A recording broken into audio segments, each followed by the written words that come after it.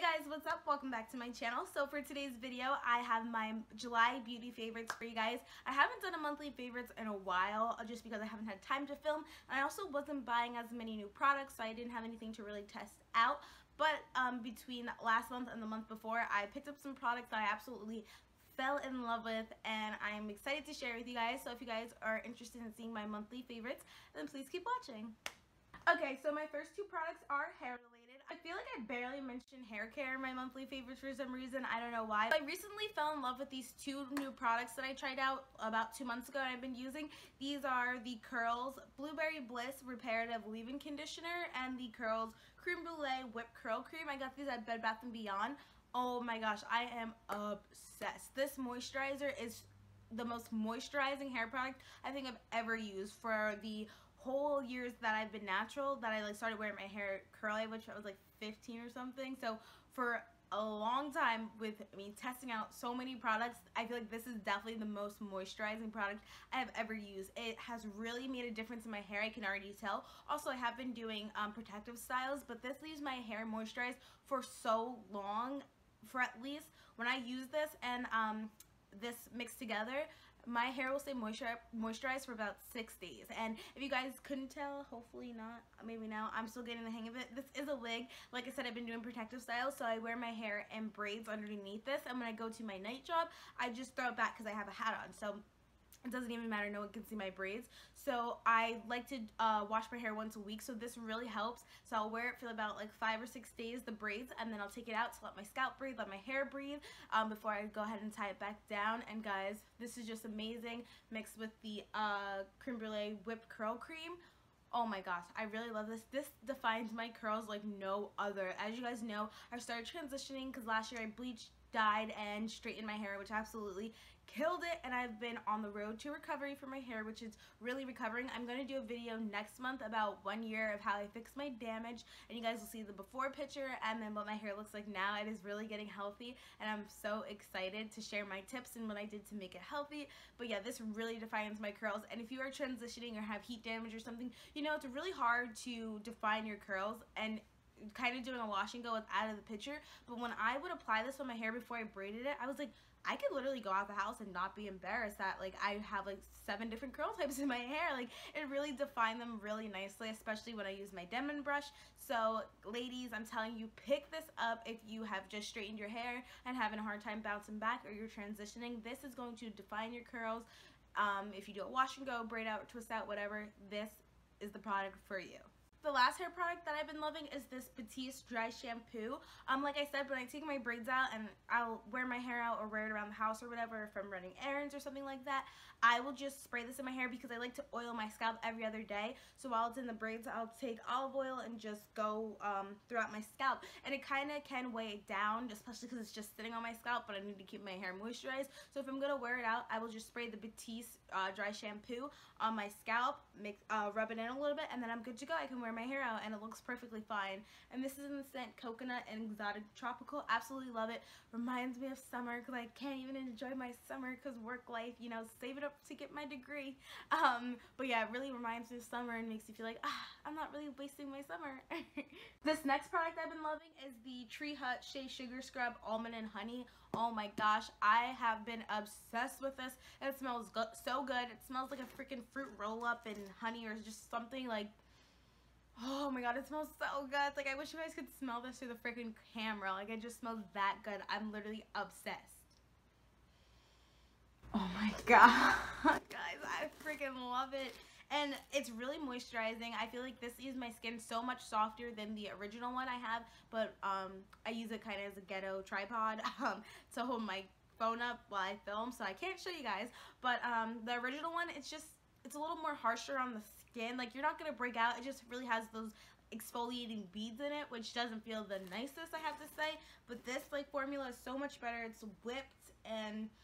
Oh my gosh this is what it looks like. So it doesn't have the beads in it and stuff. It just, it's like flat seeds or something like, I don't know how to explain it, but as you can see, nothing that's gonna hurt you or not hurt you. Like I hope you guys know what I mean if you use exfoliator before. It doesn't hurt you, but it's just also not the most gentle. But this definitely is. It leaves my skin so soft and like my arms are super soft. And I shaved last night and before I shave, I like to exfoliate my body. So between exfoliating, shaving, and then using coconut oil, my legs are so soft and I just freaking love that body scrub, guys. It's about five or six dollars. I got it at Bed Bath & Beyond as well. Um, I actually did a haul. I just remembered. So if you guys didn't see that, I'll have a link down below. But I did, yeah, Bed Bath & Beyond haul and a Target haul when I did some errands. So I'll have that link down below for you guys. So now we're going to move into beauty favorites. These brushes have absolutely been my life the past month and a half, two months. So I'll have a review on the BH Cosmetic brushes that I got and mentioned to you guys.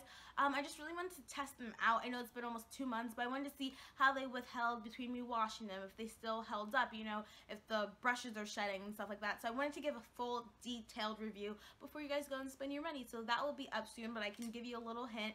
I absolutely love it.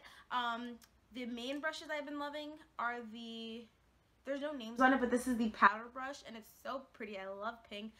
I have been obsessed. You guys know forever I would use my Eco Tools brush, but this, I don't know, I like feel like this is so much better. The more you use it, the more it kind of spreads out, which isn't bad because when you get brushes, they come so tight, so you really have to use them and like wash them. So this is what it looks like now. Before it looked like this. It was more like dome shape and tapered, kind of like oh, like that so it kind of made it hard to use as a powder brush because I want something round that I'm to dip my powder in and go in on my face. So it definitely does that now. It's good for under the eyes. So this has just been my go-to powder brush.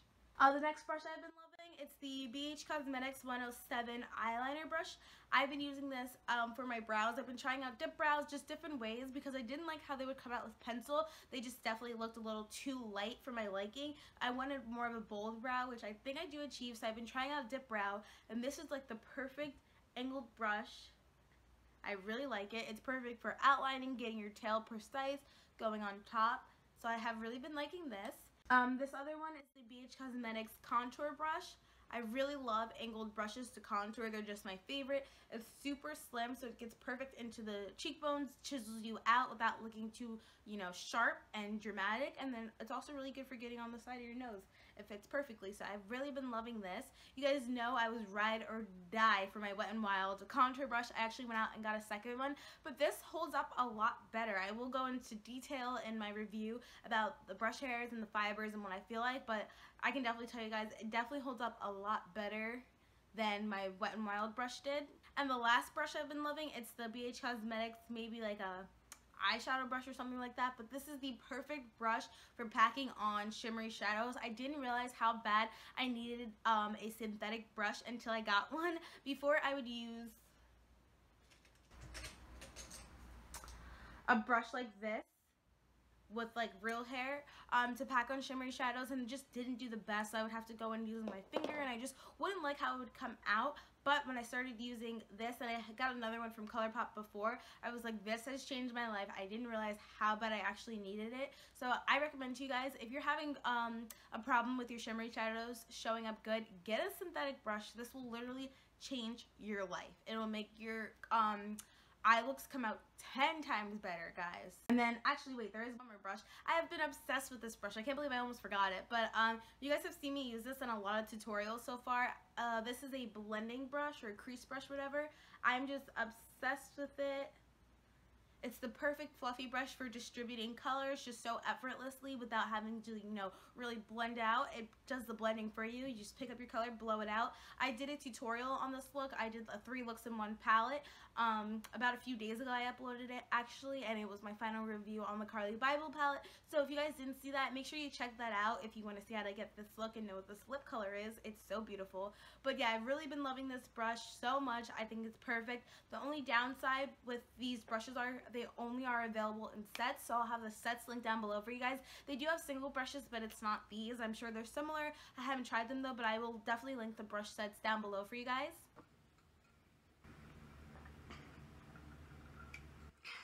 Okay guys, and my last beauty favorite, this has been around for years and years and years. This is the Urban Decay setting spray. Well, actually not this kind. I was obsessed with the original setting spray. Like that is the best setting spray of life. I will never try another setting spray. But this is actually the Chill Makeup setting spray. They actually have three different kinds. The original, the de-slicker, so if you have oily skin, which... Yeah, well, not de-slicker, but de-slick for oil control and then they have the Chill Makeup Setting Spray. So when they were on sale months ago at Ulta, they were $18 each. So I was like, oh, I have to pick it up. I'd be an idiot not to when they're like $32, $36 regular price. So I picked up about uh, two or three of them or something like that. And I have been obsessed with this Chill Makeup Setting Spray. I was using that when I was more oily and it definitely did control the oils, but if you're a dry skin, do not get that. That is going to mat you down. But this is really good. It kind of picks up the excess um, powder, not too much, but it won't make you look as cakey. So what I do, because I was having a really big problem with my skin because it's changing. Um, I'm all about hydration lately. As you guys will see in an upcoming makeup tutorial when I show you guys like my found updated foundation routine. Um, I go in with the NYX First Base Spray. This is also a favorite too. I've just started using this again. I was using the Mario Badescu, but I am currently back obsessed with the NYX First uh, Base Primer Spray. I absolutely love it. So I'll spray my face before to really hydrate my skin and then at the end and plus this will help avoid you looking cakey and then I'll spray this at the end and then just no cake face. I am wearing like a thick concealer and I have naturally fine lines under my eyes. I, there's no escaping that but uh, you can definitely see I'm tell I'm wearing a wig now. so I'm kind of wearing heavier products as you guys will see in an upcoming video about my like updated um everyday like face foundation routine but it looks pretty good. I have fine lines, so that's just a problem I deal with. I'm always going to have that problem with my concealer settling in. It just is what it is. No big deal to me. But guys, when I show you guys these products and in the video, you'll be like, oh my gosh, you're going to get cakey. And then I'm be like, nah, I'm to show you how you don't get there. so yeah, these two products teamed up together are just the best. Definitely helps me avoid looking cakey while, while I'm like trying to figure out what the heck is going on with my skin and why it's like all over the place. Combination oily one day, combination dry the next day. So just really annoying. But yeah, I really have been loving those two products. And that actually wraps up this uh, July favorites video. I really hope you guys enjoyed. Let me know if you like these products too, if you're going to try them out. Let me know what you have been loving for the month because I am planning on going shopping soon. I haven't been in a while, so let me know because I'm going to stock up on some makeup. So I'd like to know what you guys have been loving so I can check it out and see if I like it. So yeah, let me know. Thank you guys for watching and I'll see you guys in my next video. Bye! Oops. And the last, uh, last, guys, when I show you guys these products and in the video, you'll be like, oh my gosh, you're gonna get cakey. And then I'm gonna be like, nah, I'm gonna show you how you don't get there. that was so stupid.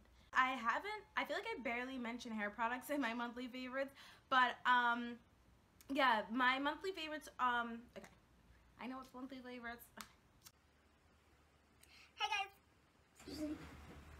Hey guys, what's up? Welcome back to my channel. So for today's video, I have my July favorites. I haven't done uh, monthly beauty favorites in a long time. Sorry, I have freaking hair. Okay.